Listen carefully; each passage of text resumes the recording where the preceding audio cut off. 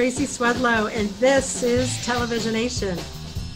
I am very happy to welcome a favorite person, longtime TV vet, somebody who's been to TVT a million times, moderated panels, the great, the only Patrick Donoghue, who has his own company now called Next Stop Willoughby, which is, of course, from that uh, time uh, Twilight Zone episode. Welcome to the show, Patrick.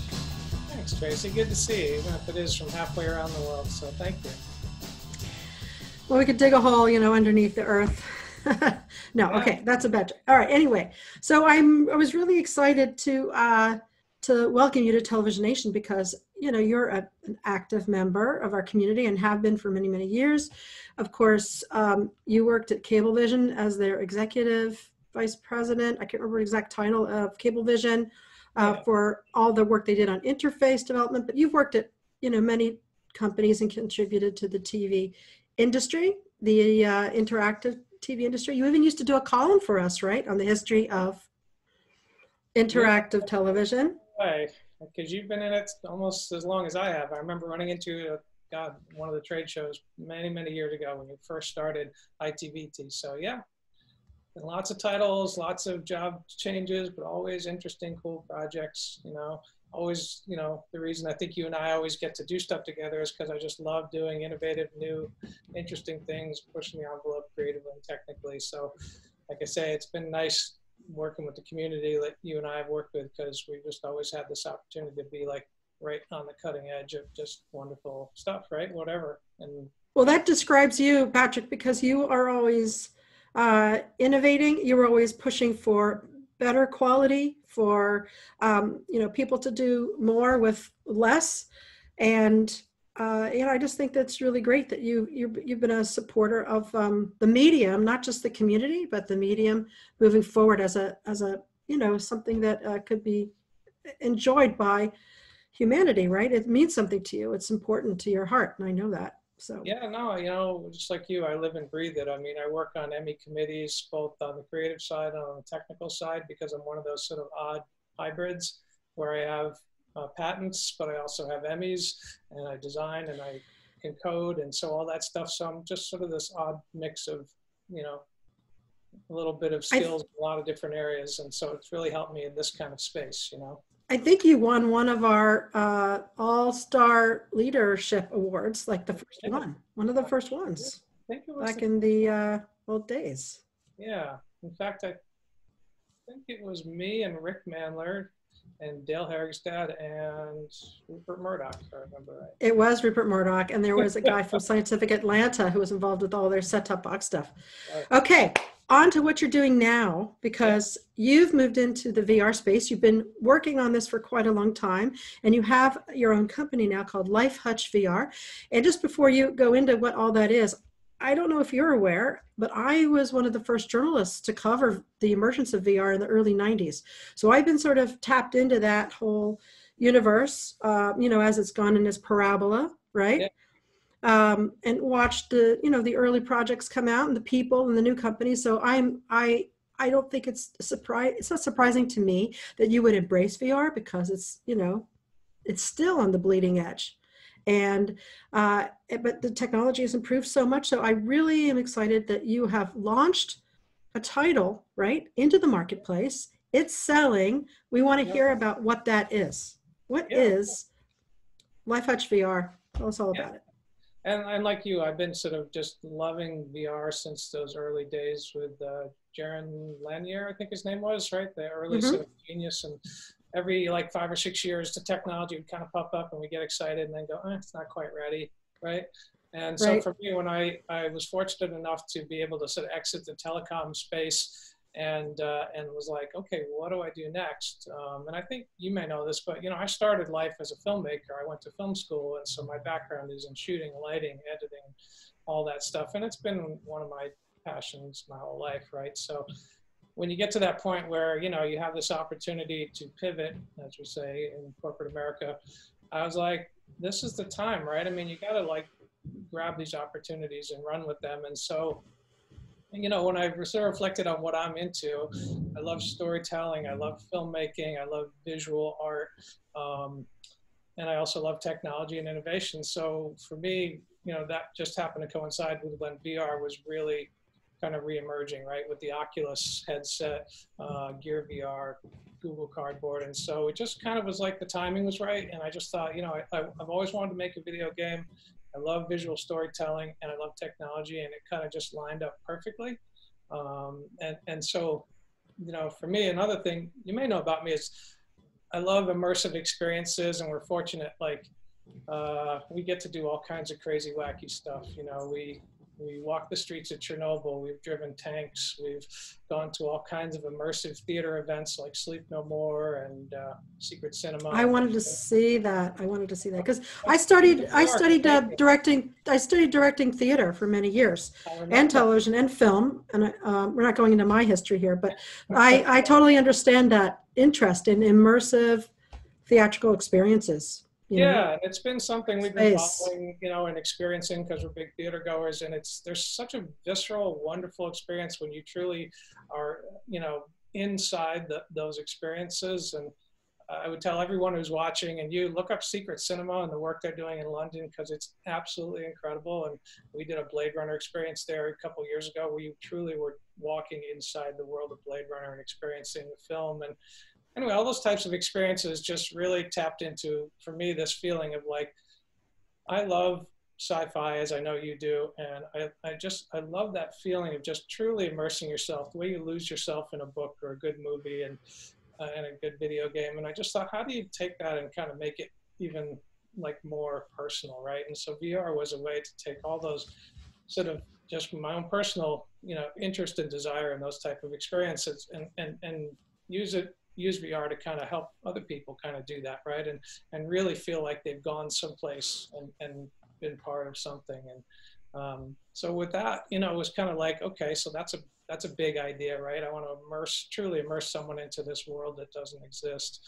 Um, you know, one of my challenges was what, what, you know, um, you know, with, what to do, what, yeah, what you wanted to create.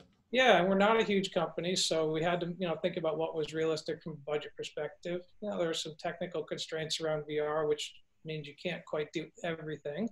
Um, and so, you know, through a lot of, you know, sort of just head scratching and looking at lots of different properties, thinking about writing original properties.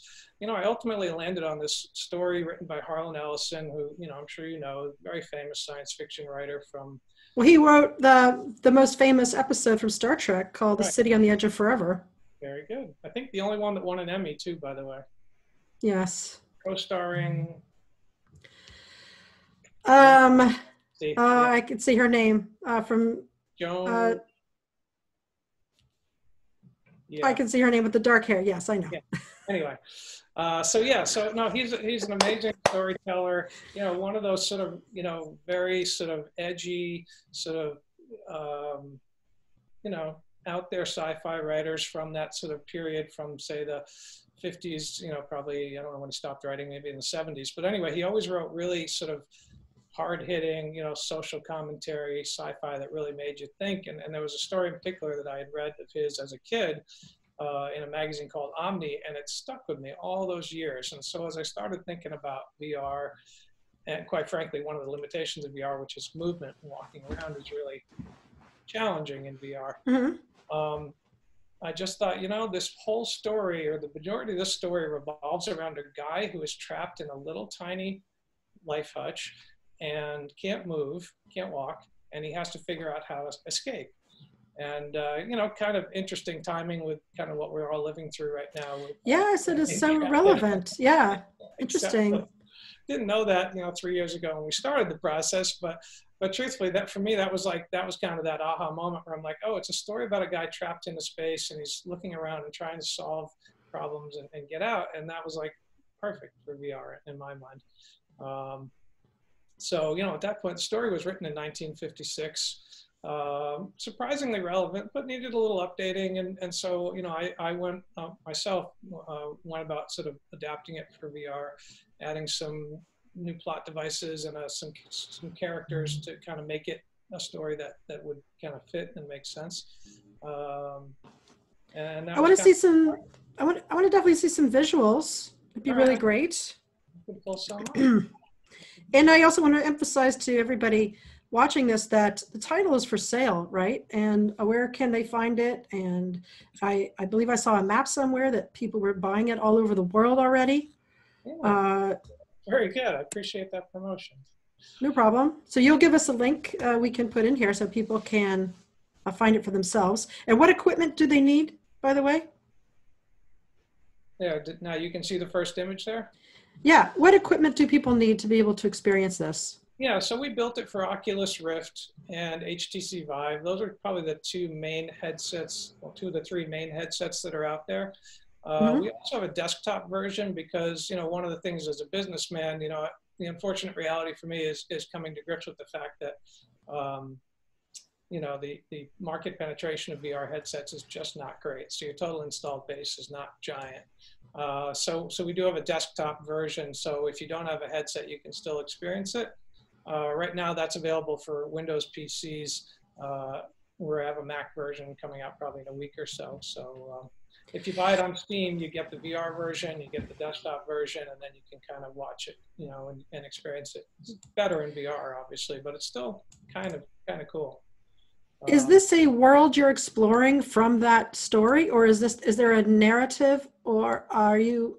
I I mean, are there timed incidents that happen? I mean, what is the structure? Because you're, you know, Yeah. you're you're an expert at storytelling. So how did you structure this experience? Yeah, you know, it's interesting because I wanted to be pretty faithful to the story because, quite frankly, I love the story. And so the basic structure is, is relatively intact. As I say, I added some characters and clarifications and modernized a few things, but um, it is a linear story. So it has a beginning, middle, and end. Uh, and it only has, well, it has, I guess, a couple of endings, but there's only one way to sort of finish the story. And, and so it was an interesting challenge because I'm a huge gamer and I play lots of, you know, games and I wanted some gameplay elements, but I wasn't not. I, I wanted it to ultimately be an immersive story more than a sort of shoot 'em up, whatever kind of puzzle solving game. So, so it's really more about that story. And so, you know, you absolutely start in the life hutch, and then you go through a series of scenes. Uh, but the ending is is basically always the same. Uh, so in that regard, it's more like a film uh, or a TV show than a video game. But along the way, you're shooting aliens and jumping and you know climbing through lava. And if you want, I can just show you a couple of the screens. Just to Yeah, flavor. absolutely. So this is some really conceptual art, and you know one of the things for me again, just being an artist and a designer for pretty much my entire adult life, I didn't make this particular image or most of these, but I, I had a, a really great team, actually mostly uh, located in the Ukraine, uh, with one artist here in the U.S. And um, you know, as I would write the scenes, and I would often do mock-ups and, and use lots of references. I would ask them to create these because I found these scenes were, were key to just kind of help ground everybody in in the vision.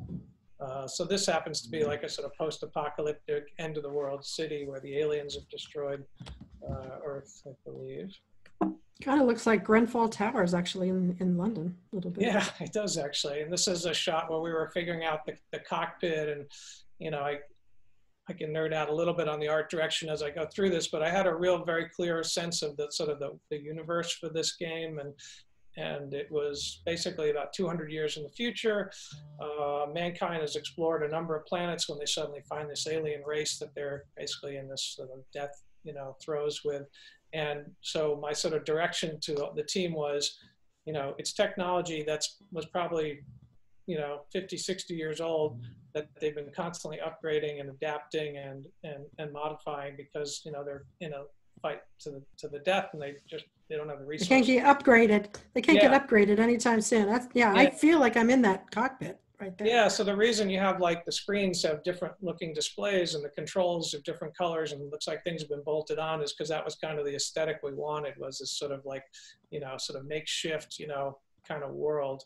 Uh, this is kind of a key sort of you Mm. know, moment when when you you would be the guy in the spacesuit, Captain Terrence, when he finds this life hutch, which is like he's got to get there to survive. And uh, if you notice, just next to the life hutch, there's this little silhouette of this robot who's a sort of a very key character in the in the film. Is it kind of like um? It's a little little bit like uh, uh, the Illustrated Man when they go into the Sun Dome. You know, Yeah. in the middle Yeah, of that exactly. range that rain jungle a little bit. You know, an interesting thing, like you're saying, Illustrated Man, this story is actually one of probably 10 or 12 stories that all take place in this universe that Harlan Ellison created. And there's some really just wonderful, some of them are three pages long, they're very short, some are a little longer, but uh, you know, a lot of them were written during the Vietnam era. And there's a couple in particular that are very um, not so subtle commentary on war and, and specifically the Vietnam War. And uh, this story, not so much, but some of the others definitely have a much uh, stronger political perspective. Um, and I actually would Great. love to produce more of these because I just found the content to be so powerful. Did you have to pay the Ellison family a licensing fee or anything, or how does yeah, that work? Of course. No, look, I mean, it's a, it's actually, I think it's an interesting story. So, you know, at, at the time I wanted to do this, I'm going to say Harlan Ellison was in his mid to late 70s. Uh, you can play some more visuals while you're telling that. Oh, good. So yeah, but go ahead. So uh, yeah, I'll, I'll, show you just some of the other shots of things that are going on, and uh, so you can see just here's kind of a lot of the art direction and you know conceptual work that we did as we sort of created what the aliens looked like and what the spacesuits looked like, all in that sort of world that that we talked about. Um, Beautiful. These are some of the actual screens from the game.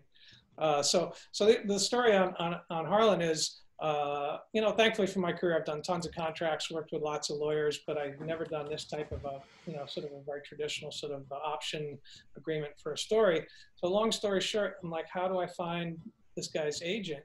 So I do like you always do, right? I search on the internet and ultimately found this guy who represents Harlan Ellison. Uh, I want to say his name was Marty. Uh, very old, you know, sort of um, very traditional LA entertainment attorney kind of guy. Super awesome. Mm-hmm.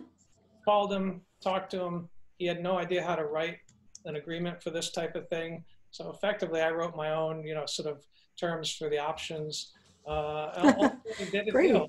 And uh, but but I guess the, you know, the unfortunate thing is is both uh, Marty and Harlan both passed away towards the end oh. of this process. So I was really hoping to share it with both of them because they were awesome. I never actually got to meet Harlan, obviously, but I do have a signature on a contract.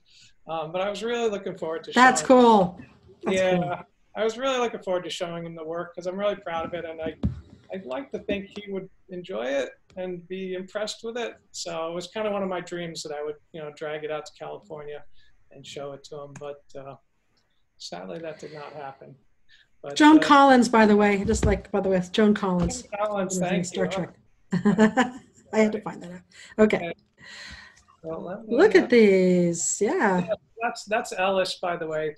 Uh, so he's kind of a crucial character, and he's this like robot, and he's sort of very much you know inspired by a long history of droids like R2D2 and uh, uh, gosh, the, even the, the dro- is it the drones? I think from uh, Silent Running. So lots of really cool inspiration. Even uh, uh, the robot from the Lost in Space movie, believe it or not. And he's a very pivotal character, and, and we spent a lot of time designing him in a way that he could be this very functional, sort of non-threatening little you know worker droid, and then he suddenly can sort of transform into this menacing, very scary, uh, you know, sort of robot. And that was a Get a lot of cycles with the designers to figure out how we take a robot and sort of have him have two very almost like a Jekyll and Hyde kind of thing happen and, and manifest that visually. So again, he's a very sort of well. The sh- the shield is I can see that it could be friendly or menacing. I mean, what is that shield for at the top? Yeah, so I don't think I have any other images here with me, but what happens is he's got this little dome, and when he's just driving around being a little maintenance droid, you know, picking things up and moving things, it's kind of collapsed and just like a little shell. And then as we were doing the sort of visualization and, and the conceptualization, you know, one of the ideas we had is that it, it's almost like a cobra where when it raises up, it, it um, what do you call that? The fans uh, out. Yeah, fans out like a hood. Uh huh. And so as we were doing a lot of the early work, we, we thought, you know, that's a way to take him from being this little robot to this big robot. So uh, you see he's got this like center sort of piston there that he actually shrinks down and becomes very small. And then suddenly he'll raise up and that hood opens up into this like almost like a, yeah. A, a, it looks like a, like a Cobra. It looks like you could build that. It looks like a robotics expert. I mean, it looks plausible. Yeah, no? yeah, great. Yeah, I was going to try to build one for Comic Con actually because I thought it'd be fun to drive it around the, the floor. It'd be a good way to market the game. But, uh, uh, you know, no Comic Con this year. So. All right. Well, that didn't happen. So that's a kind of a cross section of all the types of imagery that you know are in the game and screenshots and conceptual art and, and that sort of thing. So, so that that was kind of so how, the process. How is it selling? Tell us a little bit like who like who is buying this stuff. Can you, tell? Don't know who's buying it. That's a good question. Uh, and I, I know where, which is interesting. And I think you saw the map I posted a week or so ago. It's kind of fascinating to see people are buying literally around the world, uh, even the places I didn't know exist. There's some little island off the coast of Africa called Reunion. Yeah. I mean, there was a discussion about that. It's Reunion. Yeah, exactly. Saw you yeah. saw that, right? I don't know what the hell it is. I never heard of it, but they bought a copy of the game, so that's cool. Uh, a lot in Eastern Europe that may be uh, because you know a lot of my developers are Russian and Ukrainian, but Abu Dhabi, all over the U.S. So it's it's it's kind of cool in the sense that you know in this the world that we live in now uh, it's it's a truly a, a, worldwide thing. And and again, you know, you and I've been doing this for a long time.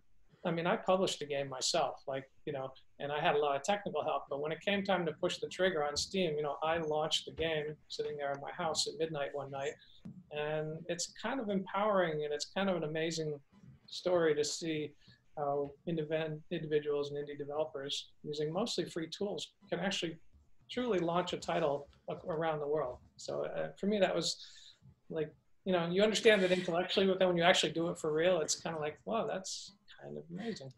I mean, I know you've been doing this for several years. You've been developing this, and you stuck with it, and you, uh, you know, you gathered a team from you know people from all over the world, and yeah. now you've committed. You've launched it. It's working. I mean, uh, the commitment uh, the commitment you made was formidable and the, the, the discipline to stick with it.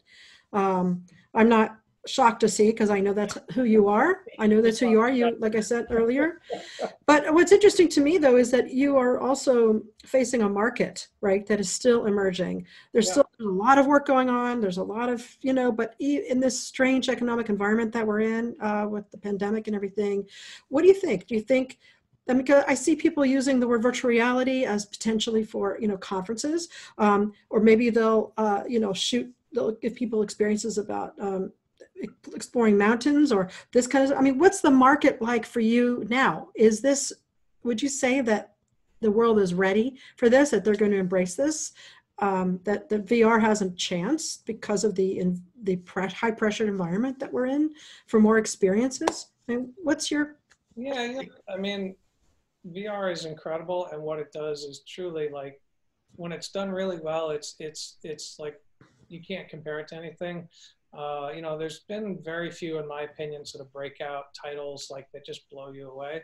Uh, I think probably Beat Saber is the one everyone knows, which is amazing and it's really cool. And you find yourself, I don't know if you're familiar with it, you basically it's a rhythm game. So you've got basically lightsabers, and these shapes are coming at you, and you have to hit them, and it's uh, it's a rhythm sort of music game, super fun. And that's like by far probably the, the biggest selling game in VR. Um, My friend Bob let me do the uh, Star Trek experience. Of course, uh, I like uh, Star Trek. I mean, like, you know, we put the head mounted display on and it was like, boom, right? And then you're sitting at a table and you can talk with other people. It's networked. Is this networked, by the way? Uh, no, no, strictly single player. Uh, so, uh, but it, that one's networked, so you can, you know, collaboratively drive a ship, right? Yeah, An cool. enterprise or, or, a different ship that you want. But, you know, I mean, it's still few and far between. Uh, I'm just kind of curious. Do you think the market uh, might see some growth? Uh, what do you? What kind of chatter are you hearing about? Yeah, I mean, you know, I don't know that there's a lot of sales numbers out there because, you know, when I was doing the ROI in this project and I was kind of projecting sales, you know, it's really tough because they don't release a lot of those numbers. Uh, PlayStation VR is by far the probably the most widely distributed headset. Uh, at least it was last time I checked. Uh, and that's probably because you don't need a $2,000 computer to attach to it. You can just hook it up to your PS4. Um, Do you know so, what the installed base is for uh, PS4? Oh gosh, I, I, should, but I don't off the top of my head. It's significant, and, and the number of headsets is pretty significant.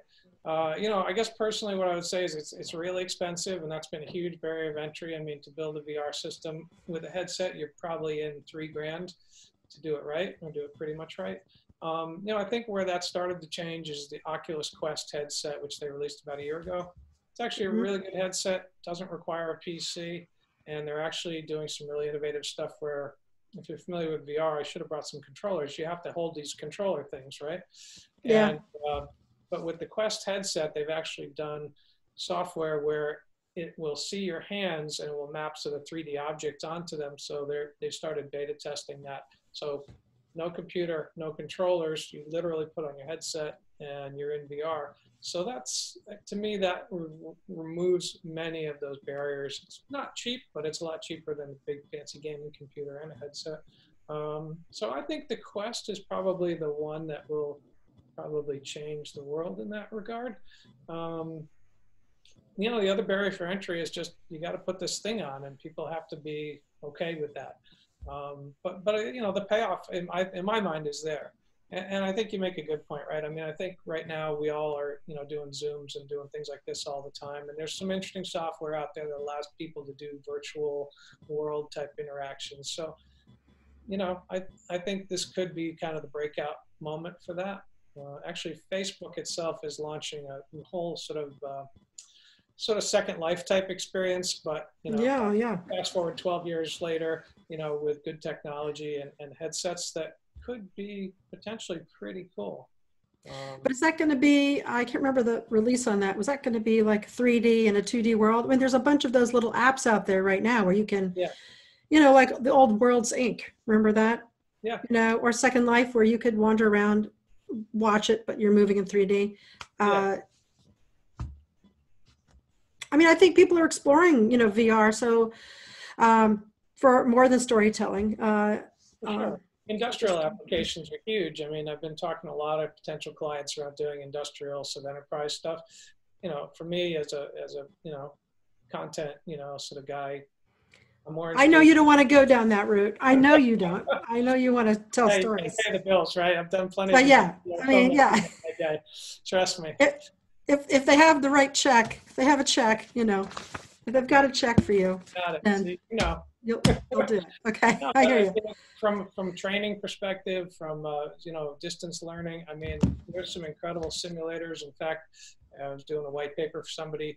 There's a surgery simulator where they actually allow you to, you know, go in and uh, uh, cut into someone's knee and do this, you know, knee replacement surgery. And there's actually some data which says people are learning better, faster, cheaper, and actually by the time they get into the operating, they're more successful because they're doing this VR training. So there's a lot of that stuff. There's huge ROI. You know, heavy equipment operators. There's a lot of interesting stuff happening there where you can, you know, I could be training to run a, an excavator, you know, sitting here in my house. Which, you know, in my case, I already know how to run an excavator, which is a lot more fun probably than VR, but I know you like big equipment. You like big tanks. Yeah, abandoned abandoned warehouses, big yeah, industrial. Together would be nice, actually. uh, do you do you think this could uh, transform into um, a more uh, photography version? Um, I mean, I know, for example, Brian, right, Seth Hurst, he has explored uh, 180 degrees and other things in VR, where it's more like a visual, like a like a film experience, yeah. but it's um, it's a different experience altogether. What do you think about the the difference between? Yeah, you know, I mean, like you know, like I told you, I, I was a filmmaker for many years. I still shoot a lot. I've probably had three or four 360 cameras. Um, I think currently I'm using the GoPro Fusion, and you know, I'm really intrigued with 360 video and 360 film. I find I don't do it as much as I thought I would. Um, and I'm not sure why. I mean, part of it's just the practical reality of when you're shooting, you see everything tripods, lights, crew, whatever. So it's very challenging. So it just fundamentally changes the way in which you would think about filming something for like a documentary type situation. I think it makes sense. Uh, I don't know that I've seen a, I've a lot of great examples of that for um, you know, sort of dramatic type things. Um, you know, also it's interesting to reprogram your brain as a filmmaker, right? You know, I'm going to cut to a close up of you and then I'm going to cut away to, you know, something else. And I'm going to then want to do a wide shot, right? And, and in 360, you don't do that, right? So it's, it's, it's interesting and it's a, it's a, you know, it's a new world, just like every other sort of innovation. People are still figuring out how do you guide the viewer to look at certain things through sound, whatever.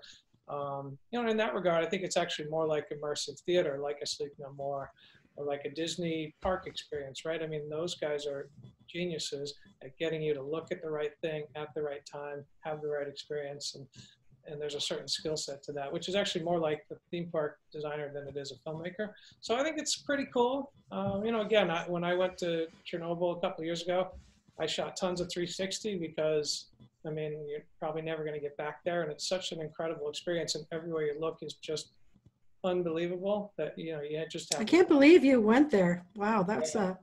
uh, was that, that really fascinating place. And it was a really interesting experience. perfect use for 360, you know, because again, who most people don't get to go there. Um, but you know, you can put on a headset or whatever and look at the 360 that I captured there and really just get a sense of just what an incredible sort of snapshot of in history that that that, that place is. So, uh, so I mean, I'm, I'm sure there'd be actually interesting historical footage um, that somebody could use. Not everybody goes there. For sure, and it's it's changing every day. So it's one of those things that, you know, it, it I could go on about Chernobyl for hours. It was one of the most fascinating places I've ever been. Um, but yeah, it sort of captures this very odd sort of time capsule of 1970s Soviet Russia uh, and, and what it would have looked like because it just stopped one day and it just, there it is, right? So it's interesting. It's going to be like uh, um, the lost city of El Dorado or something, right? That all yeah. the all the grass is going to grow on top of it and yeah, disappear yeah, exactly. in the jungle or the whatever that landscape. I mean, I would love to do a VR experience in something like that and use volumetric capture and have people be able to truly explore it, whether it's in a story situation or more documentary situation. I mean, I do think, you know, if you think about the HBO uh, Chernobyl show, right? I mean, that was pretty gripping. Uh, and if you could even then immerse somebody into that using this kind of technology, uh, pretty, pretty amazing. Um, I guess, you know, actually, that's another thing like volumetric capture is, is probably a new sort of frontier. And you know, we've seen some really cool companies doing things where guys are on a stage where it's basically a green screen 360 degrees and they're actually capturing animated models of these people. And so you know you're capturing a performance of somebody and then it's being converted into a model that you could then interact with in 3d space. So there's kind of this convergence of technologies which could lead to some really interesting things in the next I've always thought that at some point they would set up studios somewhere where you could go pay to have your likeness captured yeah. and retain be retained forever. I'm, i know these celebrities are doing it. I know they did it for Tupac Shakur and you know whoever else, but uh, uh, Whitney Houston, I think they were doing some kind of holograph yeah. performance for her. But I mean, um, so what is next for uh, Next Stop Willoughby? Are you going to pursue volumetric VR um, experiences or make more of these Harlan Ellison short stories, or what's your what's your uh, what are your plans? You know, I mean, for me, like you know, it's always nice to be able to step back. So now that we've launched, and I'm feeling like that wonderful feeling of completion, which you know is so nice when you get it, and you have a minute to reflect on like what was, what did I learn, what did I enjoy, what did I need to improve on. I mean, I just love the creative process. And again, it just tapped into all these thoughts and, and, dreams I've had over the years of being a filmmaker and a storyteller. And, and, and so love the technology, love what the enabling sort of that, that, all these technologies like the game engine technologies, which are so incredibly robust and free, by the way, which is remarkable. Um, but you know, I think my big takeaway is I love that creative process, the design process, the the, the design in the sense of creation, not just in visual design. And so for me, VR is awesome. I think there's some really wonderful things about VR. I would very happily do another VR project, but I'm also interested in AR technology. Uh, you know, so I'm pretty flexible. I mean, you know, I just think there's so much wonderful storytelling to be done and using technology to tell great stories. I mean, you know, I don't know that we've seen like the perfect AR application yet. You know, I don't know if you have like a favorite. I think everyone wants it to be amazing, and I don't know that anyone has really sort of like nailed that yet. So I don't know what the killer app is, you know, for augmented. Um, you know, fortunately with Magic Leap kind of taking severe cuts, it's not sure what the sort of long-term future is. But you know, have you seen an AR thing that really blows you away that you know makes you want to do more? Um, I saw a project the other day that um, it wasn't about storytelling necessarily, but it it it would take almost like a photo of an object, and then translated that object into an image in a sort of VR experience, and then you could paste it onto on into your computer. I saw that too. Yeah, that was. You really saw that? cool. Yeah, that was that was just sort of a technology. So I mean, you could you could create a storytelling experience using that. You can create like a a clue game or you know a treasure hunt or something. I mean, it seemed like there was a lot of opportunities to use that technology, but that wasn't. That's just something I saw just recently. Yeah. I think we all it must have come through our LinkedIn feeds or Facebook feeds totally. or something. I don't know where we saw that. I just follow whatever you're looking at. So, Okay. no, you know, we've been, You you, know, too. For, various, for various clients and things when we're consulting, you know, we're- they're often asked about, you know, augmented reality. And, you know, at this point, you know, I think we see it more as something you could do some really interesting marketing stunts with uh, because you can, you know, obviously augment reality. So there's some interesting ways to put content in your world and allow people to share it and interact with it. And, and so for me, that's the type of stuff I'm seeing that I think is really compelling and really powerful. Uh, but it's, you know, it's such an emerging space. And, you know, if you see some of the Instagram filters people use where they, uh, you know, attach various things to their heads, I mean, super creative. And right. Oh, my daughter is constantly saying, "Mom, look at this." Right. you know she's always showing you so maybe i'll see something super exciting that she shows me. Okay um i think we've uh, we've come to a, a good place to stop because there's so much more to explore another time. Uh, maybe we should do a roundup of um, some of our favorite projects or technologies for um, augmented reality or vr we could get like a little group together. Wouldn't that Yeah, be interesting Brian, a bunch of others, you know, we'll get a whole group together. It'd be fun. all right that sounds good i'll, I'll actually work on that so thank you so much patrick By the way, you're you're doing a What? great service to the industry, and I think everyone's so happy to see you creating these videos and, and keeping all Oh. this energy out there so that we can continue to kind of do what we do, which is kind of push the industry forward and, and do it in a really nice collaborative way. So I'm happy that you're doing these, and, and I'm really happy that you uh, want to make me part of it. So thank you.